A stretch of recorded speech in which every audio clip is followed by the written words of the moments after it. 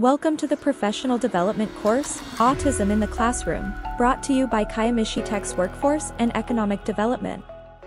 In this video, we will cover What is autism? Signs of autism by age. Teaching other students about autism. Activities that are challenging for children with autism. Classroom strategies. What is Asperger's syndrome? Autism spectrum disorder, ASD, is a developmental disability caused by differences in the brain. Some people with ASD have a known difference, such as a genetic condition. Other causes are not yet known. Scientists believe there are multiple causes of ASD that act together to change the most common ways people develop. We still have much to learn about these causes and how they impact people with ASD. People with ASD may behave, communicate, interact, and learn in ways that are different from most other people. There is often nothing about how they look that sets them apart from other people. The abilities of people with ASD can vary significantly. For example, some people with ASD may have advanced conversation skills whereas others may be nonverbal. Some people with ASD need a lot of help in their daily lives, others can work and live with little to no support. ASD begins before the age of 3 years and can last throughout a person's life, although symptoms may improve over time. Some children show ASD symptoms within the first 12 months of life. In others, symptoms may not show up until 24 months of age or later. Some children with ASD gain new skills and meet developmental milestones until around 18 to 24 months of age, and then they stop gaining new skills or lose the skills they once had. As children with ASD become adolescents and young adults, they may have difficulties developing and maintaining friendships, communicating with peers and adults, or understanding what behaviors are expected in school or on the job. They may come to the attention of healthcare providers because they also have conditions such as anxiety, depression, or attention deficit slash hyperactivity disorder, which occur more often in people with ASD than in people without ASD. Professional evaluation is crucial to diagnosing autism. Please follow all institutional protocol when reporting. By 6 months. Few or no big smiles or other warm, joyful and engaging expressions. Limited or no eye contact. By 9 months. Little or no back and forth sharing of sounds, smiles or other facial expressions. By 12 months little or no babbling. Little or no back and forth gestures such as pointing, showing, reaching, or waving. Little or no response to name. By 16 months. Very few or no words. By 24 months. Very few or no meaningful, two-word phrases, not including imitating or repeating. At any age autism can present with the following. Loss of previously acquired speech, babbling or social skills. Avoidance of eye contact. Persistent preference for solitude. Difficulty understanding other people's feelings. Delayed language development. Persistent repetition of words or phrases echolalia. Resistance to minor changes in routine or surroundings. Restricted interests. Repetitive behaviors, flapping, rocking, spinning, etc. Unusual and intense reactions to sounds, smells, tastes, textures, lights and or colors.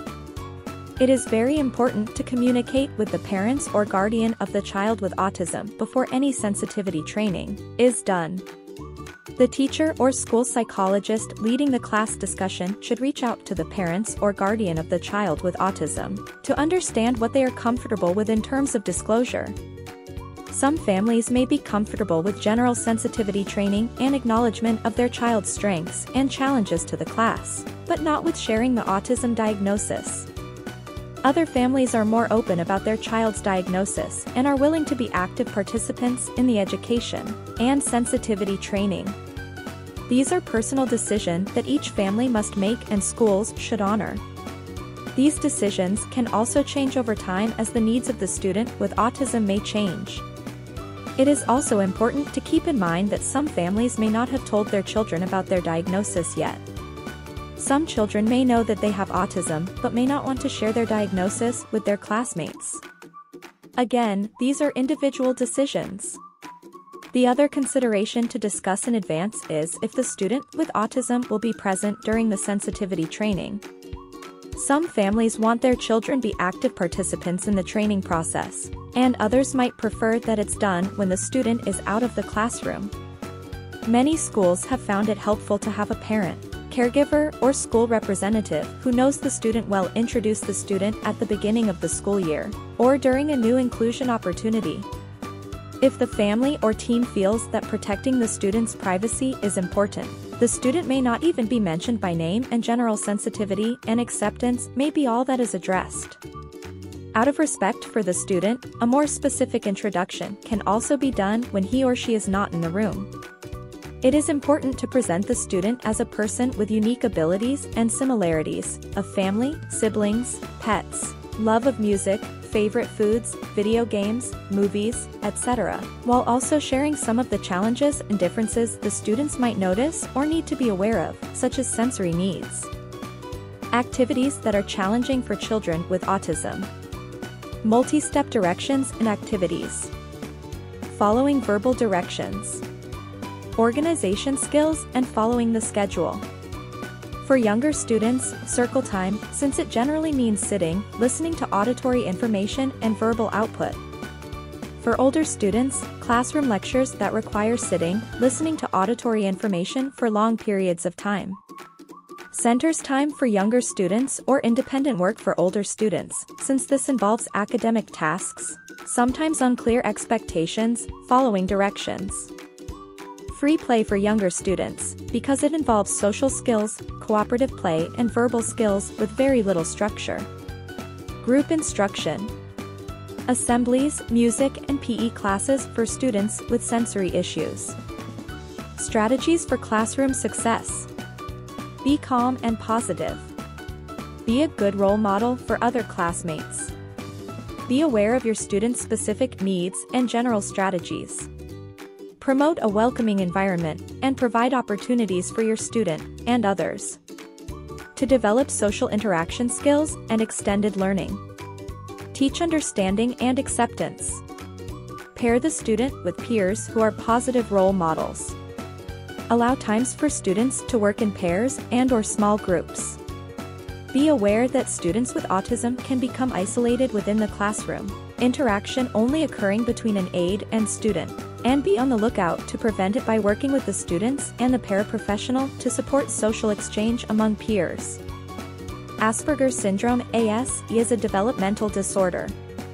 It is an autism spectrum disorder ASD, one of a distinct group of neurological conditions characterized by a greater or lesser degree of impairment in language and communication skills, as well as repetitive or restrictive patterns of thought and behavior.